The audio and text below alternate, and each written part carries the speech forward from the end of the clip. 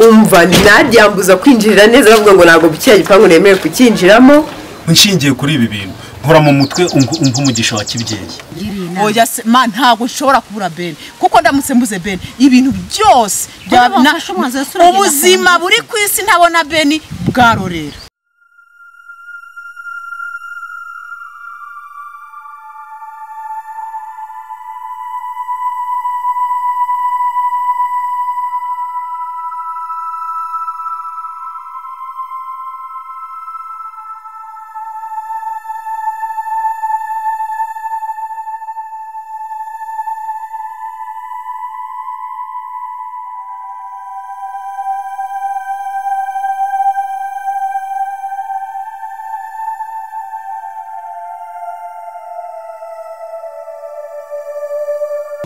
Oya se ma ntabwo nshobora kubura bene kuko ndamutse mbuze bene ibintu byose ubuzima buri ku isi ntabona beni bwarorera. Ma bwarorera. Rwose. Bwarorera. bwarorera ubundi ndashaka. umaze kububura rero kuva ugiye kwiyahura ngo ugiye gusubirana. Nta kibazo nimba nzapfa. Nyamara ushaka wanyumvira diane tukigumira hano. Nta ma kuguma hano ndabyumva n'ubundi twarimo dukora tukiteza imbere n'ibintu biza ariko nta kibazo reka mbanze ngende. Kandi wabyanga wabyemera singa usuzugura iriba muri urabizi ndakubaha wabyanga wabyemera seriye ndagenda po ariko rero nubwo dukemuye ikibazo ariko duteje ikindi. Guteze kandi. Ariko po ngewe aho ngiye ndakubitana n'amakuru ati naba amanutse pfi mu murima nkasanga yicayemo. Naba ngarutse nzamutse akanzamuka inyuma. Urumva ibibazo kuri makuru atabyaye ibibazo birebire. Ariko madani uri kuvuga ibyo bya makurata ukibitekereza mu mutwe wawe. None. N'ibintu uriya mugore izi rwase zose turimo si we waziteye. Ubu ngubu ndinze kumara inanga hafi amezi abiri ndwara n'ibibazo si makuru tuba biteye iyo azitaba we ibi byose niba byarakemutse ntibyari bikemutse neza. Ubu se urirwa umugira impuhwe z'iki? Izo twamugiye ntizihagije. Nyine twakagombye kurenzaho nubwo yahemukiye ariko uyu muntu akamufasha nyine akagira. Mwade abagore icyo mpfa namwe mugira imitima munyurwa amanuma ubwo utangiye koroha umutima utangiye guca bugufi utangiye kumugira impuhwe. Uzi rwa ntambe waraye reba uvunika ukuguru reba ibibazo byose urimo kwirukankamo kubera we wakagombye kubura i kigali utuje. Reba ahantu uri reba ahantu urara niko ujya gucumbika hariya kwa pita hariya pita namuhaye hariya pita akodesha. Wakabuze kuba ur- uryama mu nzu iwawe ubu se ndinda kuza kugana na hano munsi y'igiti. Ntabwo wari ufite iwawe twaganiriye ntuse ubwo ibyo byose uba utekereza ari biki umuntu ni umuntu ni we warwishigisiye ntarusome sibyo? Yabonye ishitambata urwo yambaye. Ntuse umuntu umuntu uzamugira neza ujya kumwigisha n'ubwenge? Mama dagiye hariya nta kintu nishinza nta n'icyo mbitekerezaho pe. Si ukukubeshya kandi. Ibyo na- ibyo narwanaga na byo ni biriya. Nanjye reka nkore imibare yanjye nigire mu kazi niteze imbere. Ibyaba ibyuriya n'ibyande. Icya mbere cyo karaveri yafasha he? Nawe ufite ahawe. Nanjye mfite ahanjye ubwo uriya wenyine makurata kubera amakosa ye umutego mutindi nyira ngo ushibuka nyirawa ariko si uko kubera amakosa y'ibyo kuko ibyo uvuga ni ukuri makuru atarampemukiye bihagije urabizi uburyo twabanye bwose urabuzi. Uburyo nyina wa remesi yaje arangira aranyigarika. Umva yari umuturanyi navugaga ko namuhoraga ahari ko ari nka murumuna wanjye. Kuko yarahemutse makuru ata ntabwo sinzi ahubwo ku- ku- kubabarirwa nta nubwo abikwiye rwose. Nubwo ndi kumugira impuhwe ariko numva ntabikwiye. Madiya iriya urimo uravuga gutyo jyewe naramanutse pfira mu rutoki. Hara muri ruriya rutoki hepfo hariya usanga ari marara n'uriya mwana we. Ariko ibyo gihe ntabwo nabyitaho. Kubera ko umuntu ni mukuru. Makurata ntabwo ari umwana wo kubwira ngo kora iki kora iki. Mu mada iyo umuntu akuze akaba ageze aho abyara. Akaba atazi ubwenge bwo kuvuga ngo iki nkora ni kibi. ni kibi. Mamadiya mu bintu ukora byose ujye umenya ko ibintu byose bigira ingaruka. Ntabwo njye najya kwifatanya nawe. Njye kurwara urugamba reba intambara ndimo hano. Mazemo iminsi. Ngira ibyo mfite i kigali biri kunsaza. Urabizi nasigaranye umwana urugo rwanejeje umutwe. Reba mu kazi ubu ngubu sinzi uko bimeze. Nzi ubwo urumva ibyo byose nabyikora nkabivamo. Ndetse buriya amakuru atemba aranyura uko ngiye hose ngo nimusabire imbabazi ngo karaveri yamwiruka. Kuko ubu yibagiye ibintu byose byabaye abyihishe inyuma cyangwa abikora kuko arabyibagiwe ahubwo genda umva ufite impuhwe. Barabapangayi bariho hariya karaveri yashyizemo. Umunsi bavuyemo. Nushaka uzamushyiremo wimuhe. Mama de ubu ngubu ahawe akazayivamo po. Mama de ahantu hawe nta nama n'imwe nakugira yo kuvuga ngo bikore gutya. Wahamuha mbese nabamucumbikiyemo igihe kigeze nka mpakeneye ni urugero. Yahasubiza buriya. Ibyo ntimwabinzanamo. Ntimwabinzanamo madiya ubu ikibazo ki- kiracyakemutse. Dore ikindi cyongeyeho. Buriya dore ibintu natekere nagumye ntekereza. Ahantu ko tugabanya tugize umwaka tugasanga hari akaraveri yafashe ariho hari amabuye y'agaciro. Eh, ntitwaba duhombye iriya mbwa ngo ni karaveri ije ejo bundi yatunyanganyije ikatugira ibigo byarangiye paul wibitekerezaho ubwo niba ariho azaboneka ubwo nyine twemere kubabara n'igihombo kandi tuzabaho kandi nawe nta kintu bizamumarira. Ariko umenye ko ibyamakurata niyo nabitekereza nabitekereza. Ikindi gihe ubu ngiye guturisha umutwe wanjye mbanze ntuzi iki kihe kimpangayikishije Paul, dutaye igihe kabisa. Ariko reba igihe maze inama reba imyenda yose nazanye imwe yaranduye indi ir- ndishyira iyo ngiyo reba ibyo nsigaye nambara. Ni uko nabimenye nkazana n'imyenda myinshi. Ubuse iyo nza kuza gutyo nigeze bya bindi nazaga ngo nkaza umunsi umwe byari kugenda gute wongera rya kote nzi niyo riba. Ndahita iyo ngiyo ndara napfuye kumanika kuri ntuza kuri twa duti ndekera. Ubu se ubu mbayeho si hejuru yiwe? Iyo aza kuba ari umuntu muzima Oh, yagombye kuvuga ngo abantu bangiriye neza mu madeni ijya wumva umuntu. Niba umuntu atakubereye muzima mureka sare igihe rero sinagira amahirwe yo kuba nari mari ariko nari mbizi ko uno munsi muba mwabiraga none ese ubu madani we bya- byakemutse gute Peter ibibazo byacu nubwo byagoranye kenshi ariko twabonye imana ibikora byakemutse. Imana ishimwe. Eh, wa musaza data wacu yaje amaze kuza nyine atwicaza hamwe. Turavugana ariko intambara kuri karaveri ziba ari za zindi n'ubu habere n'abanyatoroshye ntabwo zijya zihinduka ne wamukubita akanoga. Eh, ntago yumva. Ariko nyine byarangije umusaza yemeje ko tugomba kongera kugabana. Eh, n'ubundi nagumanye aho nari mfite. Paul nawe yarongera agumana he n'ubundi nubwo hari hanini yongera ahandi? Ubu byarangije nyine urabizi ko iyi nzu nyine na yo ari iya paul hano ukodesha na hari inyuma mu makurata ubwo nyine muzehe yemeje ko ahangaha karabera agomba kuba ah, kuhafata nyine hari inyuma kwa makurata hariya. Ari umuntu wagumanye ahantu nari mfite ni jyewe ariko aha paul bashyize hasi barasatura. Eh, ubwo nyine bafashe iriya nzu ya makurata urabizi ko hari aha paul nawe kimwe n'uyu muryango wawe. Eh, birangije ubwo barahamuha bahaha karaveri.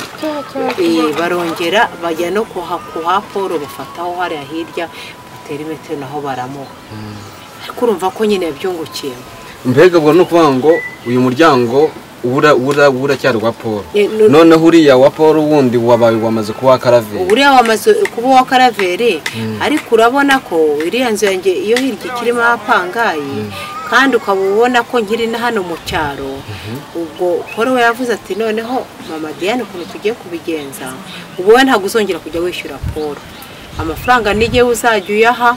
Oya ntacyo mama diya ntacyo bitwaye ubwo ntabaye umupangayi buriya mutinde ngo ni- karaveri. Eh, ubwo rero nyine aravuga ati nta kibazo Peter ajya guha amafaranga ya hariya. Nabane niba bakirimo yenda nibishoboka uba utaragaruka mu cyaro nyine uyegeranye agira ikintu yagufasha. Ubwo ni bwo buryo paul yabyanzuyemo. Eh, urabona ko n'ubundi hari hirya nubwo harimo apangaye urabona no hano ariko n'ubundi nabaye mbaye ni ho nkiri nubwo wacumbikiye ariko mbere ko mbangumye hano.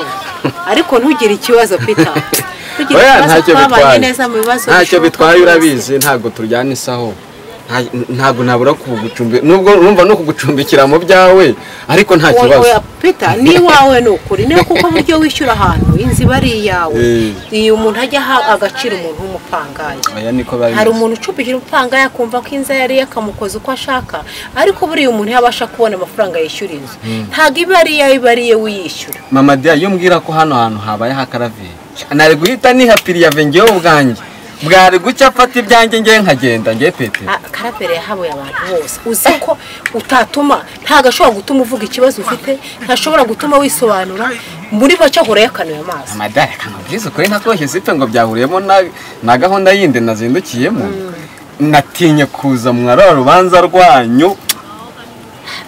Yabana, kuko ngeye niba use karaveri buryo kinamukije hariya we na paul. Yego.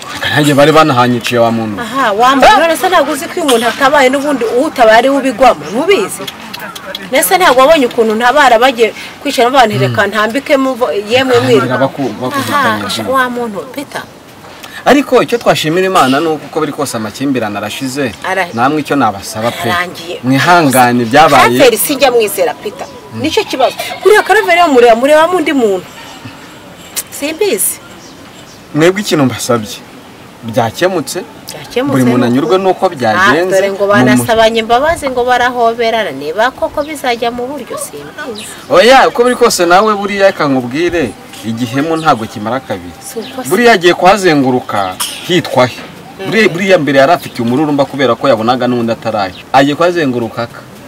Nyuma y'umwaka azaba amaze kwigaya no kwicuza abonye ko ibyo atunze ari ibyo yavanye mu buhemu.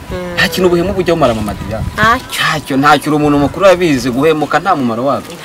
Buriya ndawe karaveri bana agiye guhingamo imyumbati ahinge asarure ibitoki agire gute yishime. Nyuma yaho abone ntabyibushye nta niyongeyeho n'ibiro na senkani azigaza avuga ati ubundi paul ko naha- ko nahamunyeze ubundi ubu ngubu namurushije iki ko mpumeka nawe akaba ahumeka. Hmm? Ntacyo ubwo byakemutse gutyo pe? Nuko byakemutse nyine. Dushima imana ko bigiye ku murongo nta ntumbi ihagaramye nubwo byabaye ibibazo bikagorana ariko byanakemutse nta kibazo.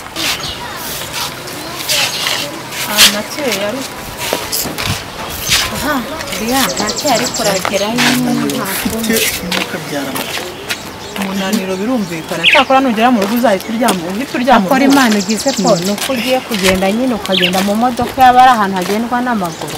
Ntabwo yari kubishobora ntabwo. Oh umaze iminsi uvunika rwose. Kurara nabi ugira ute? Ariko mbese ntabwo naravutaguritse umwuka byarama ese ubu murafata imodoka imwe. Kigali se tugiye twese? Tujya kujya mu rugo rumwe ariko tugiye hamwe ntujye gutera agati mu ryinyo oya ntacyo hano kigali arayimenyereye ubu se byamubayeho ntabwo ubizi ko. Tugenda ariko umwerekeza nta ntabwo bintu byose uba ushaka kuvuga nyine amafaranga uzajya uyirwanishaho sibyo amafaranga y'inzu utazajya guhereza hanyuma ndagira ngo ugire ureke bari abantu kuri kwezi bishyuye kw'inzu. Uzareke gushirimo hanyuma hari ahantu kwa pita wahitamo kuba kwa pita wahitamo kuba hari iwawe Eh, uzahitamo aho ushaka. Ariko bari abantu bihorere. N'abarwayi nta ariko kibazo. muyo ndu- ndumva iki- ikirere ndabona kiri guhinduka umushaka ugiye gushaka Wa- wagira mugasezerana mu matwi agenda Eh, mama yawe ihanganira ubu ndagiye Mujye kugenda ndebe uko, bimeze. Ngende ndwane n'iby'akazi akazi karangiritse bikomeye. Ariko icyo nzi cyo oya ariko bizasubira ku mutwe cyaneshaga bikemutse umutwe ni ibi ngibi. Cyane nubwo ukuri imana bikemutse. Igize neza paul. Rwose ntako itagize gusa ariko ndahombye mama Diane koko buragiye cyavuye he Deni koko buragiye unsize gutya koko nta kuntu wabigenza paul se arabigenza ate we? nonese nkugire ubu koko nta kintu wankorera kugira ngo nsubire hariya hantu. Koko nzikoremo nzikoremo ubu imana koko murabona mba mu gihuru kugeza ryari? Mwagiye mugira umutima koko ariko makura ubu ni we wavuga gutyo koko Makuru. mbabarira umbe ni we wavuga uretse gutyo? uretse ariko ubonye ni- ko ineza hari uko ubajije oya ijambo. ine have Bakora reka twumvikane. Inabi ati ntabwo wose ni ukugutinda no kwangiza byinshi byose n'ibyaturutse kuri wowe. Si uko se? Makuru nguha inzu mama Diane aza kunyinginga ampamagara ambwira ngo fasha amakuru ati Eh? hari uko ntagize? Ibi byose bibaye ngarinda ntabwo nari kugomba nzi ko gutya ni ibiki byose si yasubira wowe ibuka ibintu bibi byinshi wakoze rwose rwose ariko makuru ko wangiriye impuhwe koko wangiriye impuhwe erega koko. paul nta kintu yakora imbere ya mukuru we karaveri none se karaveri ntimwaretse kuva kera hose ntimwakundanaga kuva kera hose nabo fi Kigali bara- barahuye barihuza. na biriya byose mwapfuye mwanakwiyunga bikaba barihuje agatinze kazaza nawe cyane ko mbere n'ibintu byoroshye ntabwo karaveri ibyo bizakora. ashaka yabibonye. Mwari inshuti wamugiriye neza zo waramugaburiye uramucumbikira ntabwo tuzi n'aho baba. Wowe na, karaveri mwagenda mukumvikana Nawe ujyewe muryango. rwose. ariko se mama jya mbona wowe koko ubu ngubu njye njye nkemura ibibazo byanjye nkemura n'iby'amakuru ati nta kintu wahindura kuri karaveri aba bantu barakundana. Abaza ni we ni ho yabaga. Yabaga kwa makuru ubu ugiye urumva ibyo ngibyo na- na- nabijyamo ariko nta- muyoreka nkubwire. Makurata ntabwo ari umwana w'igitambambuga makurata ibyo yakoze byose yari abizi. Agerekaho no kujya kwiba mama. Yaramwizeye amusize ku rugo. Arangije impapuro arazibuze byose ni byo bapfa ntabwo Makuru, n'umuryango gusa ni cyo kibazo. Hari undi wabiguhaye? Umva nkubwire muyo. Makurata ntabwo ari uwo barakubeshyira kugirwa gute neza. Rewe rero makurata rwose ugende wumvikane na karaveri ibyanyu bikemure ibyo ntabwo rwose wijya kundusha insubizo mu rugo ibyo mupfa murabizi kandi n'ubunshuti bwanyu murabuziranye rwose. Mama diya ahubwo reka twigendere. Ndabona n'imvura imvura iguye twigendere reka reka ngo bigende. reka mbageza. Ibyanyu Mugire rwose neza. mubikemure. ngaho ni mama diya ubwo rero tujya tuvugana kuri telefone. Yego. hagize igihinduka wambwira sibyo? Yego rero musigare amahoro.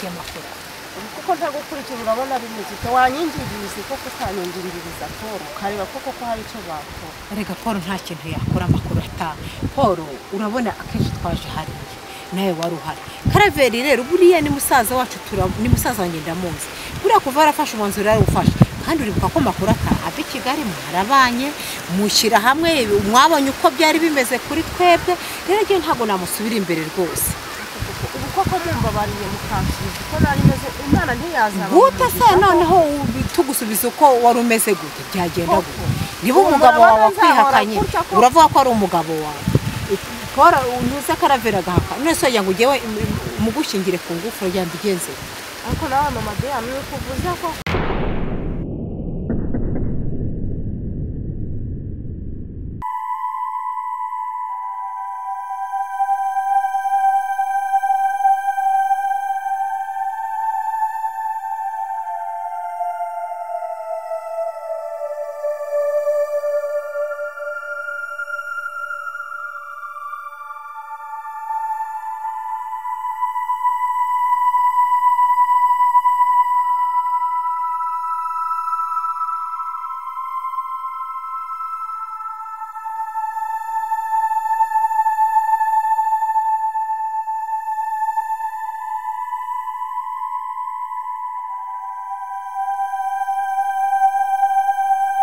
yarampamagaye kuri telefone? Eh, kuri telefone.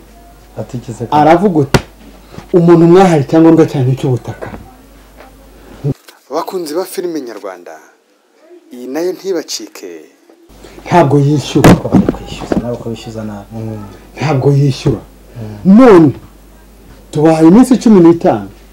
Nibiraba bitarakunda ngo aze yishyure amafaranga nk'uko impapuro ziri hano yasinyiye uko icyo zivuga. Turaza kugira gute? Nyarwaya seri ni filime nyarwanda. Iri guca kuri cano yitwa abacu tv rwanda.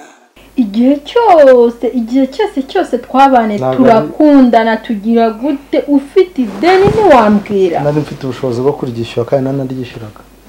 Ariko ikibazo cyaje ni icyaje ku isi yose nawe uzi mapasi ubwo urebe ukuntu njye mugira. Oya ntabwo ngomba kuyiguha ariko ahubwo ugomba kungira inama ukuntu ugomba kubyitwaramo nta nama ugomba kugira wowe cya mbere ugomba kujya umwereka uko nyarwaya series ntibacike